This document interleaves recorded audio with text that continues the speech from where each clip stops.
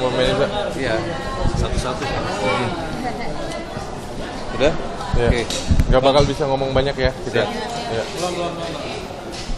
Hasil sidang tadi seperti apa?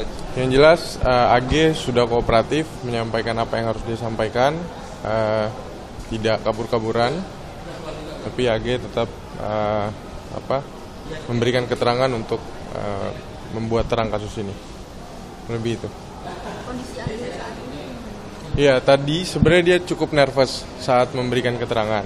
Dari awal, eh, pada saat kita ngecek, dia karena mungkin rame dan sidang terbuka, bahkan saat pemeriksaan identitas juga terbuka, itu yang kami sayangkan.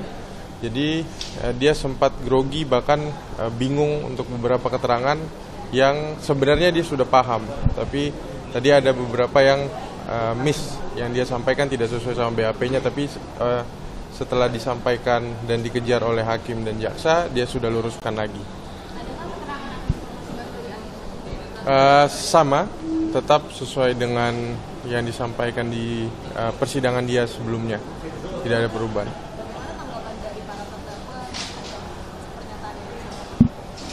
Dari MDS ada penyangkalan, tapi dari Shane itu mengakui dan membenarkan semua statement dari AG. Itu yang nggak bisa kita uh, komentar lebih lanjut karena ada terkait dengan anak.